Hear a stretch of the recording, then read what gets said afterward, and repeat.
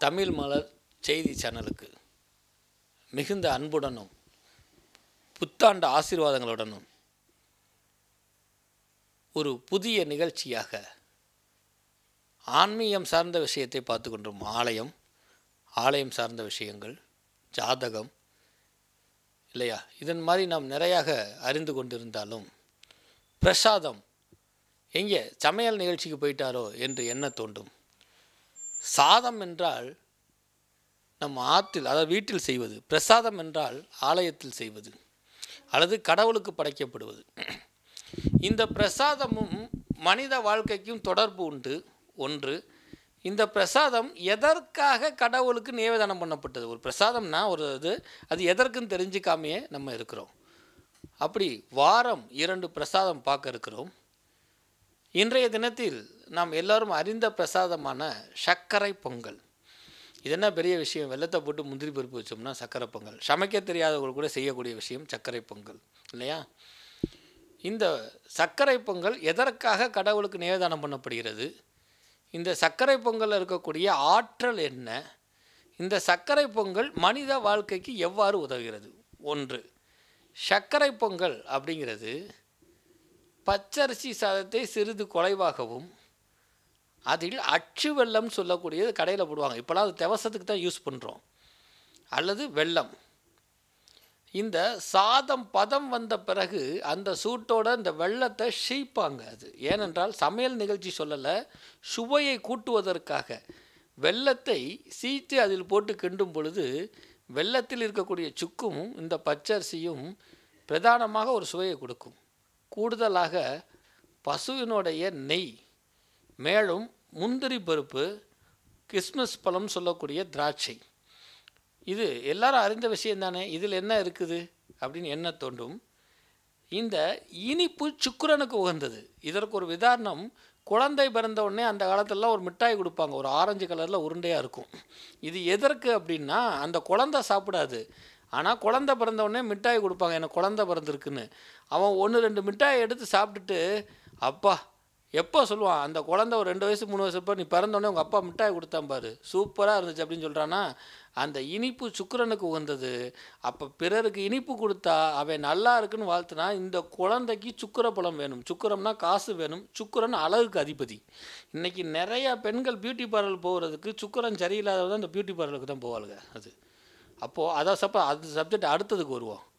இப்போ சுக்கிர பழத்தை கொடுப்பது இனிப்பு. அப்போது கடவுளுக்கு சுக்கிர என்னை படைத்த ஆண்டவா எனக்கு சுக்கிரபலம் நீ படைத்து எது கொடுத்தாலும் எனக்கு மேலும் செல்வ செழிப்பும் அழகும் வேண்டும் என்பதற்காகவே இந்த கெடாபிரசாதம் சொல்லக்கூடிய சர்க்கரை பொங்கலை கடவுளுக்கு நிவேதானம் பண்ணுவது. கடவுளுக்கு இனிப்பு வழங்கி அவன் உள்ளம் குளிர்ந்தால் நம் வாழ்க்கை இனிப்பாக இருக்கும். அதனால தான் க சக்கரை பொங்கல். அதனால தான் தை மாதம் சூரியனுக்கு உண்டான காலத்தில் கூட இந்த வருடம் ஃபுல்லாக நீ வெயில் எத்தனை காட்டு காட்டு காட்டினாலும் சரி என் வாழ்க்கையில் வற்றாத நீர் வளமும் வற்றாத செல்வ வளமும் வற்றாத இதுவும் வேணும்னா ஒரு உதாரணம் ஆண்டாள் பாடினா தின்னும் சாதமும் உண்ணும் சோறும் பருகும் நீரும் தின்னும் வெத்தலையும் கண்ணனுக்கேன்னா வெத்தலை திங்க எத்தனை பேர் போடுறா? வெத்தலை கூட அந்த சூரிய ஒளினால தான் வருது. அது கூட கண்ணனுக்கேன்னா ஒன்றோட ஒன்று மையப்படுத்தி பேசவில்லை. அப்போது இந்த சக்கரை பொங்கல் ஆகப்பட்டது கடவுளுக்கு படைக்கப்படும் பொழுது அது மனிதனுக்கு சுக்கர பலத்தை கொடுக்கிறது. இந்த சுக்கரன் பொருளாதாரத்தையும் அழகையும் கொடுக்கிறது அப்படின்னு இதுக்காக தான் இந்த சக்கரை பொங்கலை நிவேதனம் பண்ணாங்க. சரி இது மனித வாழ்க்கையோட தொடர்பு. சக்கரை பொங்கலுடைய பிரதானமான வடிவை நம்ம சொல்லிட்டோம். இந்த சக்கர பொங்கலினுடைய அளவு அதாவது கலோரிஸ் என்ன அப்படின்னு நம்ம தெரிஞ்சுக்கணும் இல்லையா? பொதுவாக வந்து நெய்யாகப்பட்டது மாட்டிலிருந்து எடுக்கப்படக்கூடிய ஒரு விஷயம் அறிந்த விஷயம். இந்த நெய்யாகப்பட்டது உடல் உள்ளே இருக்கக்கூடிய உணவு செரிமான பொருளில் ஏற்படக்கூடிய புண்ணுங்களை ஆற்ற வல்லக்கூடியது. அப்போது நெஞ்சரிச்சல் குறைஞ்சாதான் சொல்ல வயிற்றெரிச்சல் பிடிச்சோன்னு சொல்கிறோம்ல அந்த வயிற்றெரிச்சல் குறைஞ்சிருச்சுன்னா அவனுக்கு நிதானமான பேச்சு வரும் கோபம் வராது. ஆழ்ந்த தூக்கம் வரும் சமச்சீரான ரத்த ஓட்டம் கொடுக்கும். அதனால தான் பஞ்சகாவியத்தில் நெய் முதன்மையாக்கப்பட்டது. அப்புறம் தான் கோமியம் இது. அப்பேரிப்பட்ட நெய் அதில் சேர்க்கப்படுது. சரி பச்சரிசி பலமான அரிசி அது கைக்குத்தல் அரிசிலாம் இப்போ கிடைக்காது. அந்த பச்சரிசியை பானையில் வேக வைக்கும் பொழுது இயற்கை சத்துகளோடு வேந்து அதனுடைய புரத சத்துக்கள் வெளியில் போகாமல் அதில் இருக்குது. அதில் வெல்லம்னு சொல்லக்கூடிய சுக்கிரத்தை சேர்க்கும் பொழுது ஒரு கரண்டி சர்க்கரை பொங்கல் சாப்பிட்டா அரை கிலோ ஆட்டுக்கறி சாப்பிட்டதுக்கு சமமாக இது விஞ்ஞானம் சொல்லுது நான் சொல்லலை அது. அவ்வளோ கலோரிஸ் அதில் இருக்குது.